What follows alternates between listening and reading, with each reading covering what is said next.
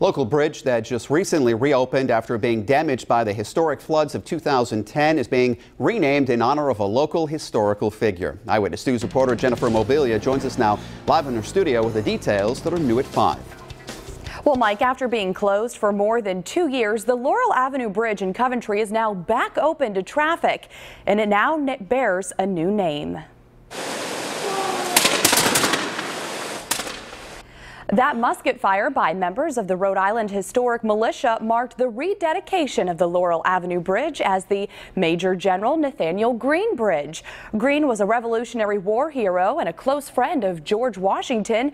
He lived just down the street for several years during the 18th century. The bridge itself had to be rebuilt after sustaining serious damage during the historic floods two and a half years ago. It just reopened to traffic last month, and by hiring a single contractor contractor to both design and build the new bridge. The DOT says it was able to shave years off of the project's timeline.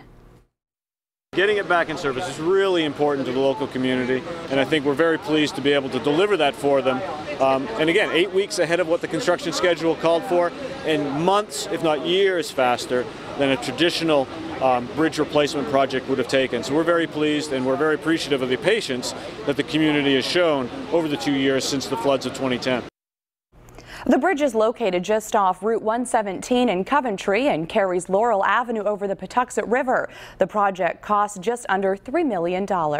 I'm Jennifer Mobilia, Eyewitness News.